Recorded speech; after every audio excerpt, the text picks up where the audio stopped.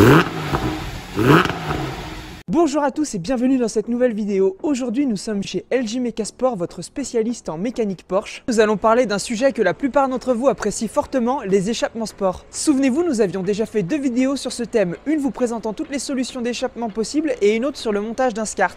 Aujourd'hui ça va être encore un montage et attention, pas n'importe lequel, celui du PSE d'origine Porsche. Et maintenant direction LG Mecasport et pas avec n'importe quel moyen de locomotion, attention, une trottinette électrique. Et oui, on est comme ça chez LG Mecasport.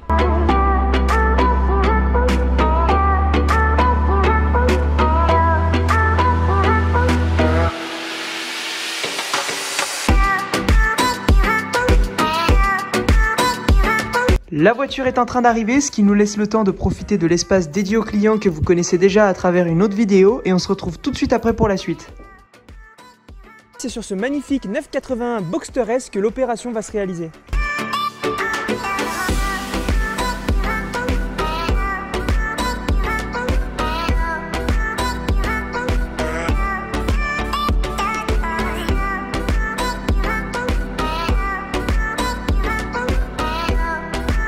Le PSE pour 981 avec la première et la deuxième valve. Et juste ici, on a les sorties.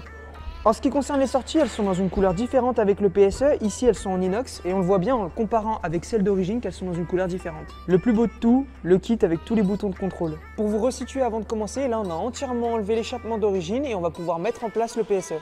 L'échappement d'origine,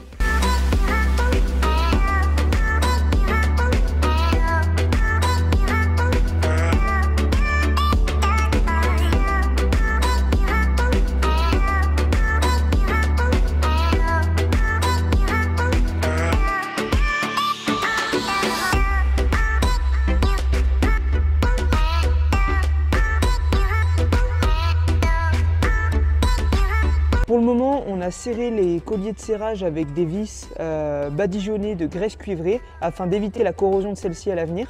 Et maintenant, on va mettre les joints au niveau des collecteurs catalyseurs parce que sur ce modèle, ça ne fait qu'une seule pièce.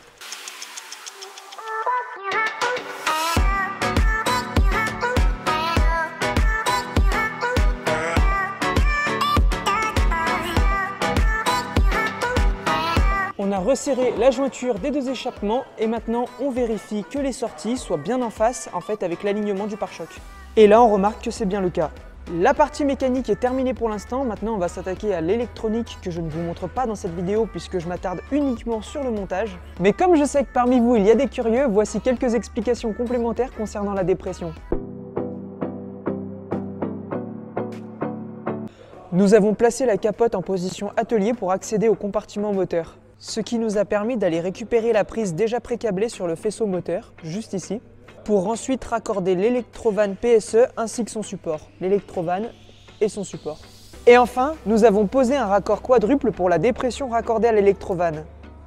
L'électronique est terminée, donc on a câblé du porte-relais arrière au BCM arrière situé sous le siège côté conducteur. Et nous avons installé une toute nouvelle console centrale avec les boutons qui vont avoir leur emplacement défini. Maintenant, on va coder la voiture grâce au Piwi de manière à ce qu'elle intègre le fait qu'elle est un PSE d'origine.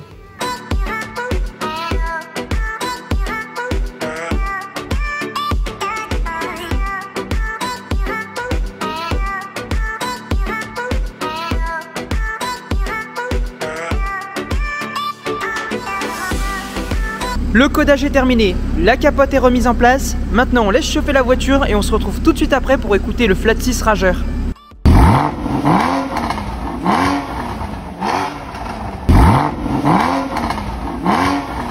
Et voilà mi porchiste, encore un épisode terminé sur les échappements. Très honnêtement, le PSE rend le Flat 6 encore plus rageur. C'est quelque chose d'assez exceptionnel, vous l'avez entendu par vous-même. Comme d'habitude, n'hésitez pas à vous rendre sur les réseaux sociaux d'LG Motorsport ou à vous rendre sur le site internet sur lequel il y a toutes les actualités, les dernières voitures, les prestations que nous fournissons ou encore les vidéos.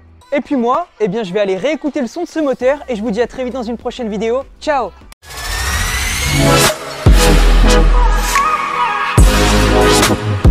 Bye.